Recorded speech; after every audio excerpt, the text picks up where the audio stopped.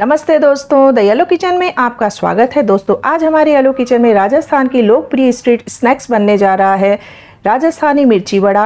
राजस्थानी मिर्ची वड़ा के साथ साथ इसे जोधपुरी मिर्ची वड़ा भी कहा जाता है। दोस्तों, बहुत ही शानदार रेसिपी है। पूरी रेसिपी जानने के लिए आप वीडियो लास्ट तक देखिए और चैनल पे पहली बार आए हों तो चैनल को सब्सक्राइब कर, बगल का बेल आइकन भी ज़रूर प्रेस कर दीजिए। और चलिए वीडियो शुरू करते हैं।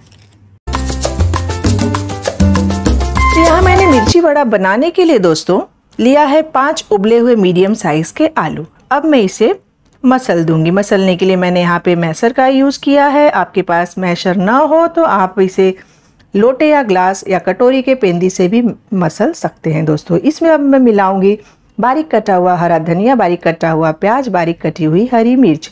मिर्ची की मात्रा आप अपने अनुसार कम ज़्यादा कर सकते हैं। अब इसमें मैं कुछ मसाला ऐड करूँगी। जैसे मैंने यहाँ पे लिया है। आधा चम्मच धनिया पाउडर, आधा चम्मच लाल मिर्च थोड़ा सा एक चौथाई चम्मच लिया है मैंने गरम मसाला और आधा चम्मच के लगभग, एक चौथाई के चम्मच के लगभग मैंने लिया है हल्दी। इन सभी मसालों को मैं आलू में डाल दूँगी और यहाँ मैं डाल रही हूँ एक चम्मच चाट मसाला, उसके बाद थोड़ा सा जीरा पाउडर और स्वाद अनुसार नमक। इन सभी चीज़ों को दोस्तों हमें अभी अच्छी तरह से जो है मिलाना है। तो यहाँ मैंने मिलाने के लिए चम्मच का यूज़ किया है। आप इसे अच्छी तरह से मिलाना हो तो हाथों का भी यूज़ कर सकते हैं दोस्तों। ध्यान रखें, हाथ को साफ़ करके ही मिलाइएगा। तो इस तरह से मैंने चम्मच से मिलाने से पहले, अच्छी तरह मिल जाने से पहले मैं इसमें मिला दूँगी अब थोड़ा सा अमचूर पाउडर।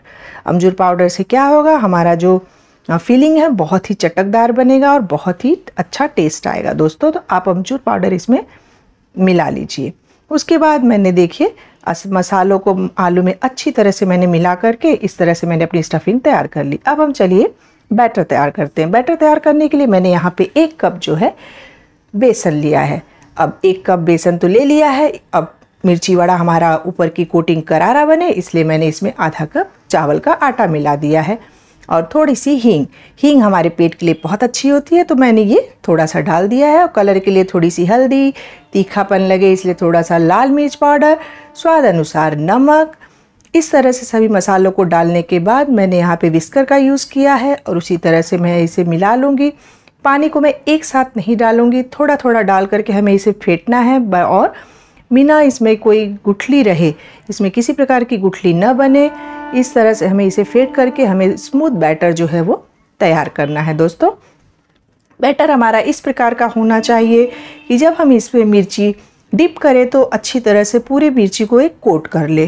तो मैं आपको बैटर को उठा कर दिखा रही हूँ। देखिए, उठाने पर जो बैटर हमारा गिरता है तो ऐसे रिबन जैसा इसमें लहरें उठती हैं, आ जाती हैं तो इसका मतलब समझ लीजिए हमारा बैटर एकदम परफेक्ट बनकर तैयार हुआ है। यहाँ मैंने हरी मिर्च, मोटी वाली हरी मिर्च लिया है, जो पैरट ग्रीन कलर की होती है दोस्तों। मार्केट में बहुत ही आसानी से ठंड के सीज़न में मिल जाती है। तो ये थोड़ी कम तीखी होती है तो इस हिसाब से आप इसे अपने फीलिंग को तीखा ज़्यादा कर सकते हैं। तो हम मिर्ची को बीच में से कट करेंगे और कट करने के बाद चेक कर लेंगे कि अंदर से मिर्ची कहीं सड़ी हो या ख़राब हो तो उसे हम निकाल देंगे। तो इस तरह से मैंने मिर्ची को कट कर लिया है दोस्तों। अब मैं इसमें जो स्टफिंग आलू की तैयार की हूँ, वो मैं इसमें भर दूँगी। तो दोस्तों, ये हरी वाली मिर्च जो होती है, बहुत ही कम तीखी होती है या होती ही नहीं है, ना के बराबर होती है। तो आप फीलिंग में अपने, आपको अगर ज़्यादा तीखा खाना है तो फीलिंग में तीखा का मात्रा जो है वो बढ़ा सकते हैं। तो लीजिए, हमारी सारी मिर्ची जो है भर करके रेडी हो गई है। तो इस तरह से मिर्ची हम भर लेंगे। उसके बाद मैंने गैस पर कढ़ाई चढ़ा दिया। तेल मैंने पहले से उसमें डाल के गर्म होने के लिए रख दिया था। तो चेक कर लिया, तेल भी गर्म हो गया है। मिर्ची की डंठी मैंने कट कर दी है थोड़ी सी क्योंकि मेरी कढ़ाई थोड़ी छोटी है। आप जो है मिर्ची की डंठी बगैर कट किए भी बना सकते हैं। तो मिर्ची को मैंने बैटर में डिप किया, बैटर पूरी तरह से मिर्ची को कोट हो गया है। तो अब हम एक एक करके मैं एक साथ में तीन तलूँगी, क्योंकि मेरा कढ़ाई जो है बहुत ही छोटा है। अगर बैटर पतला हो जाए आपका तो उसमें फिर से आप थोड़ा सा बेसन या चावल का आटा मिला करके बैटर को ठीक कर सकते हैं। घबराने की बिल्कुल ज़रूरत नहीं है कि अब बैटर पतला हो गया तो क्या करें। अब हमें मिर्ची को जो है, गोल्डन ब्राउन होने तक अच्छा करारा मीडियम फ्लेम पे हमें सेक लेना है। फ्लेम को ज़्यादा तेज़ मत करिएगा, नहीं तो क्या होगा, करारा बनेगा नहीं और जल्दी जल्दी ये लाल होके अंदर से मिर्ची कच्ची रह जाएगी। तो इस तरह से हम मिर्ची वड़े को हम तल लेंगे। तो लीजिए, हमारी मिर्ची जो है, तीन मिर्ची मैंने एक साथ छोटी कढ़ाई में तल लिया है। तो देखिए, मेरी मिर्ची तल करके रेडी हो गई है। अब मैं आपको इसे सर्व करके दिखाती हूँ दोस्तों। इसे आप मनपसंद चटनी के साथ इंजॉय कर सकते हैं। जैसे मैंने यहाँ पे पुदीने और धनिया की चटनी बनाई हूँ और लहसुन चटनी के साथ, सूखी लहसुन चटनी है मेरे पास। उससे मैंने इसे फैमिली को खाने के लिए दिया है दोस्तों। आप अगर चटनी आपके पास नहीं है तो आप इसे टोमेटो सॉस के साथ भी खा सकते हैं। मैं आपको कट करके दिखाती हूँ।